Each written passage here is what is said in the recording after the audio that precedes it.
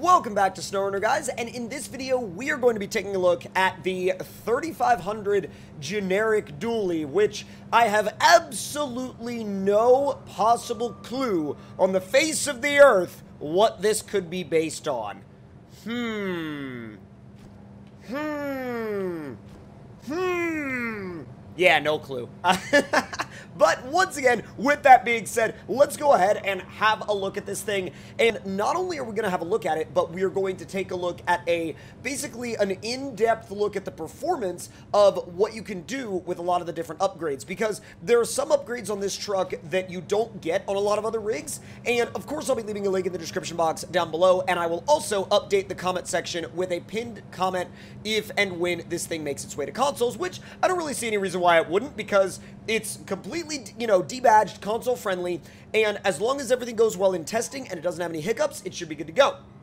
So, let's go ahead and check the suspension modes. Now, one of the most interesting things is even on the base suspension, you can actually raise just the rear to help with towing capacity, which is really, really nice. So let's go ahead and put that rear suspension back down, though, and head into the garage and see what we can do. I love how it literally comes with the stacks and the gooseneck hitch and the bumper hitch, like, right off the bat. Like, you don't even have to worry about either one of those things. Interior looks sick as well. Really, really good. Had a little bit of, like, Phase 4 frame lag uh, glitching right there, but you know what? It's one of those things that it goes back and forth, and it'll end up getting resolved at some point soon. Now, let's go straight into the customization. So your base power to weight is going to be a C plus, but that can quickly increase to a B-, minus, or you could just go for the full beans and go for the S+, plus, which I would definitely recommend. I mean, I don't really...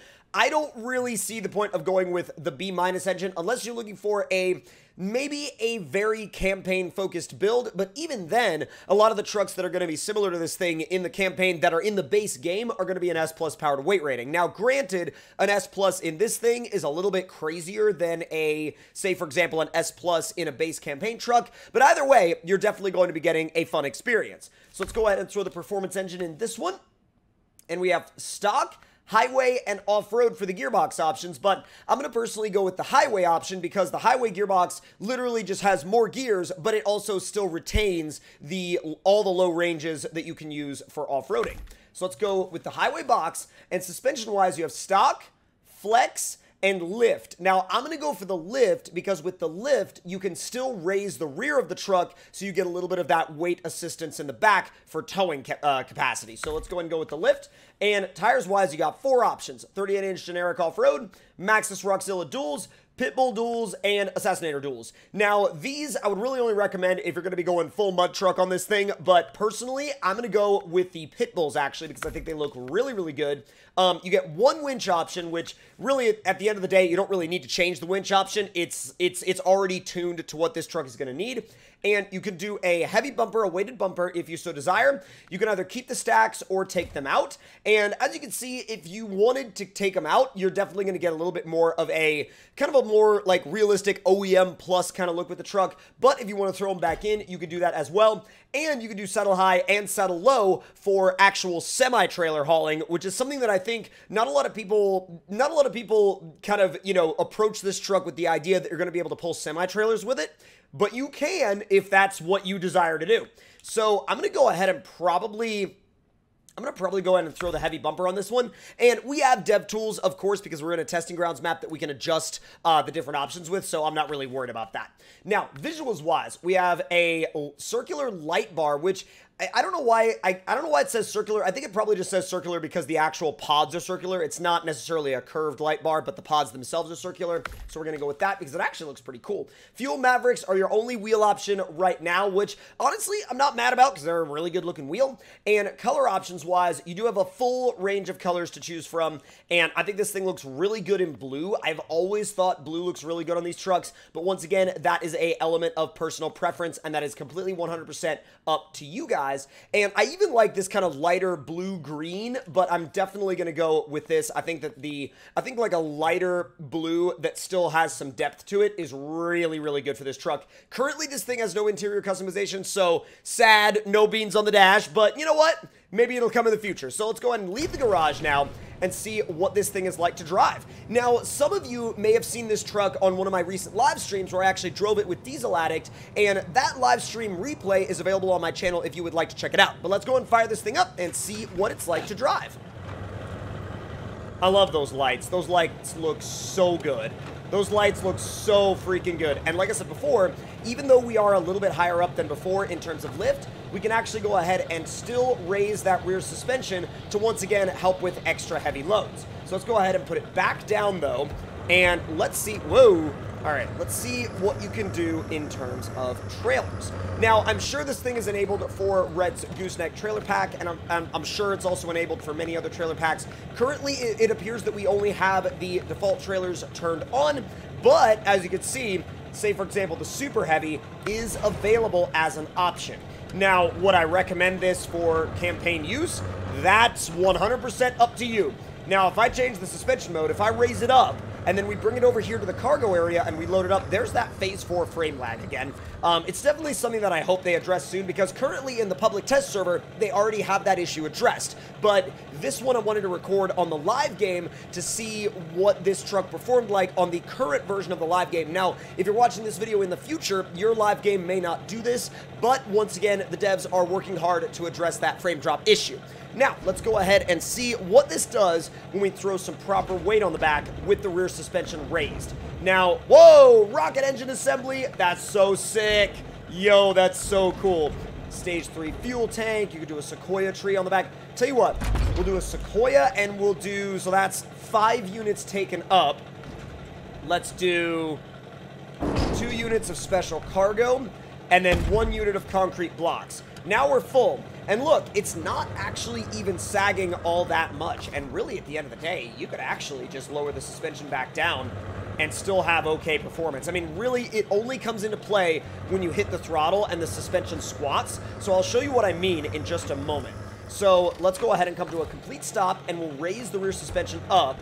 And as you can see now, when you get on the throttle, the suspension will squat to level.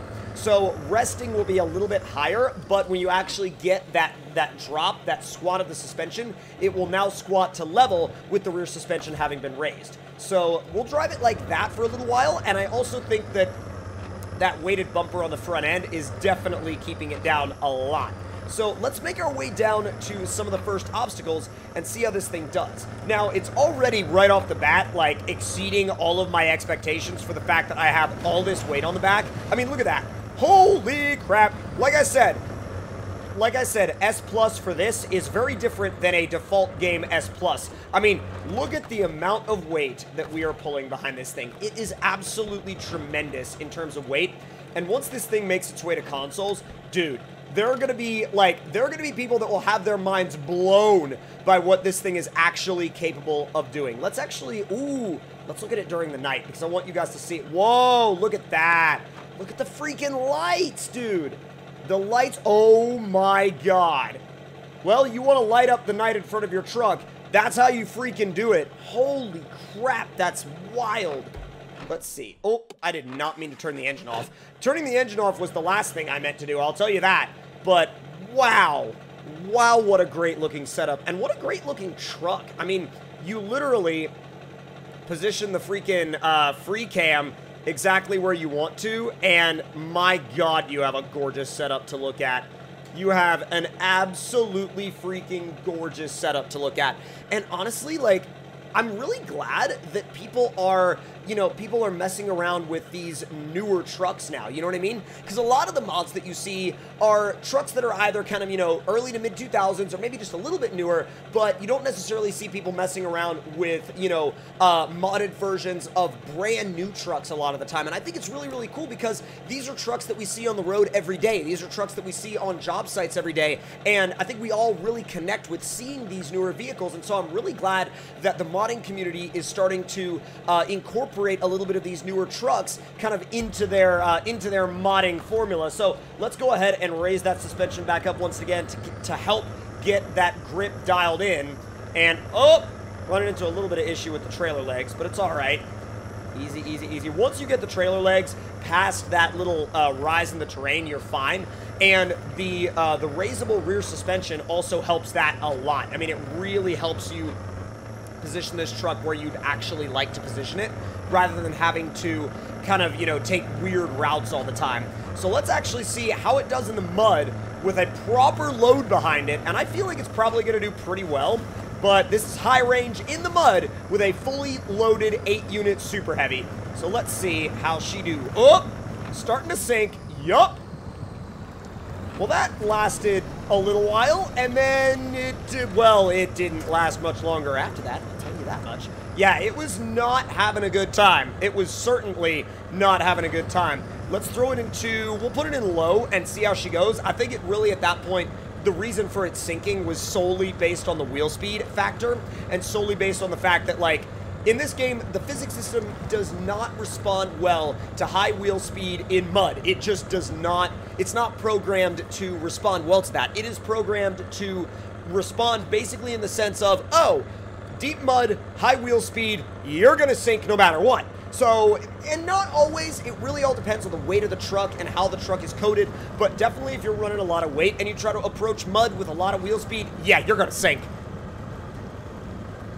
gets it done. I mean, it makes its way through. And that's the thing, is that it genuinely, these upgrades make this truck genuinely usable in a campaign scenario, both as, as a scout, a kind of support vehicle, and definitely a tow rig. I mean, this is right on par with some of the modded semis that I've driven, and the fact that we have a pickup truck that is on par with modded semis, huge, dude. Like, that is absolutely nuts. I mean, look at what we're freaking pulling right now. And I don't feel like there's any way that anybody could, you know, could say that that is not impressive. I mean, I guess you could say that's not impressive, but holy cow. I mean, I don't know where you you would be basing this not being impressive. Now, could you say it's not realistic? I mean, sure. Sure, you could definitely say it's not realistic, but man, at the end of the day, like, if you want to run a realistic setup, this thing has the engine options to allow for that. And if you want to run lower power, those options are absolutely 100% available to you.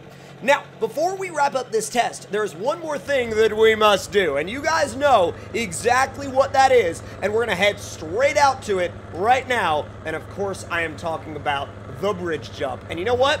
Literally because of the fact that I don't think it'd be a wise idea to try to make all those turns, especially with those pipes right there. I'm going to head straight through the rock field. I'm literally going to head straight through the rock field because there's really not much reason to try to make those two other turns. When your trailer is this long and your whole entire setup really is this long, yeah, you kind of want to avoid those other turns. And this is coming from somebody that enjoys maps with a lot of turns. You know what I mean? Like, I enjoy negotiating turns on maps like this whenever you have like a truck that's not so incredibly huge that the turns literally become like an actual issue for the truck. But at this level, it genuinely becomes an actual issue for the truck. So once again, you're starting to see a little bit of that Phase 4 frame lag again. And once again, that will be getting addressed soon. Um, it's not a permanent thing. It has already been addressed on the public test server and will be getting addressed on the main game very, very soon. Uh, especially for those of you that play on ultra settings on PC, as I do. So let's make our way up this hill. Whoa! It got a little sketchy right there. Yeah, we're definitely going to run into a little bit of that Phase 4 frame lag as well when we leave the jump, but let's just see how it does anyway. Oh, God. Oh, God. Turn. Okay, yeah, I couldn't quite turn in time. That's a little annoying. But, yep, and then you switch into interior view, and it's like, oh, yeah, we're going to do some frame lag again. Oh, no, you don't. Come on. I am not down for that. I'm not at all down for that. That's one of those things where it's like, if you're going to get the trailer stuck at the top of the hill, like, let's not let that be a thing. Just a little more, a little more. There you go. All right. Interior. Full send. Full send. Working gauges, by the way. They look sick. There's seventh gear. Okay, phase four frame lag coming in hot. Boom.